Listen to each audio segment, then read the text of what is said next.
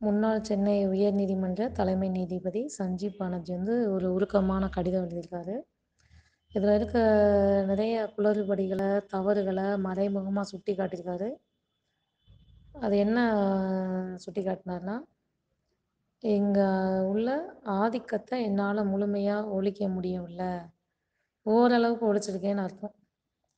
முழுமையாக அப்போ அதுங்க சென்னையில் ஆதிக்கம் செலுத்துறது யாருன்னா எவன் தமிழ்நாட்டோட ஆட்சி அதிகாரம் இருக்கானோ அவனோட ஆதிக்கம் தான் அங்கே இருக்கும் இன்றைக்கி திமுக அதிகாரத்துக்கு திமுகவோட ஆதிக்கம் தான் சென்னை உச்ச உயர் நீதிமன்றத்தில் இருக்குது திமுக முழுக்க முழுக்க என்ன சொல் தவறான இதில் ஒரு நீதிமன்றத்தவே கட்டுப்படுத்துகிறாங்கன்னா எந்த அரசியல் வந்து அவன் கேடு கட்டுவீங்க? அது உச்ச நீ அது என்னங்கடா ஒன்றியம் ஒன்றியம்ன்றாங்களே அந்த ஒன்றிய கட்சி ரொம்ப கேவலமான இதில் இருக்குது பிஜேபி ஒரு உயர் அதிகாரிகள்லாம் ரெண்டு ஆண்டுலேருந்து ஐந்து ஆண்டுகளாக பதவி நீட்டிக்க போகிறான்.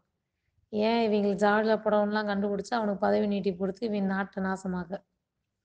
ஸோ எல்லாம் ஒரே நேரத்தில் நடக்குது. இந்த சமூகத்தில் பிறந்த போர்க்கொடிகள் டிஎன்டி மக்கள் முக்குளத்தோர் மக்கள்லாம் அதை ரொம்ப உன்னிப்பாக கவனிங்க. இந்த உருக்கமாக ஒரு கடிதம் எழுதிக்காரு சென்னையில் ஆதிக்க கலாச்சாரம் இருப்பதால் தான் மதுரை உயர்நீதிமன்றத்திற்கு வன்னியர் பத்து புள்ளி அஞ்சு சதவீத இடஒதுக்கீட்டை தலைமை நீதிபதி சஞ்சீப் பானர்ஜி மாற்றினார். பாஜக ப்ளஸ் திமுக ப்ளஸ் பாமக குண்டர்கள். அதாவது கெட்ட கெட்ட வார்த்தையிலே பேசுவாங்க காட்டு மிராணுவோ அவங்க வாட்டில் அடிச்சுக்க தெரிவாங்க. ஸோ இவங்க எல்லாத்தோட ஆதிக்கம் தான் சென்னை உயர்நீதிமன்றம்.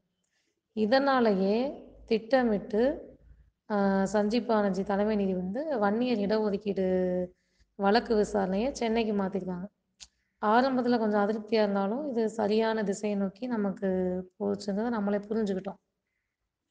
இன்னைக்கு அதன் விளைவாக மிக சரியான தீர்ப்பு வரலாற்று சிறப்பு மிக்க தீர்ப்பு வந்திருக்கு.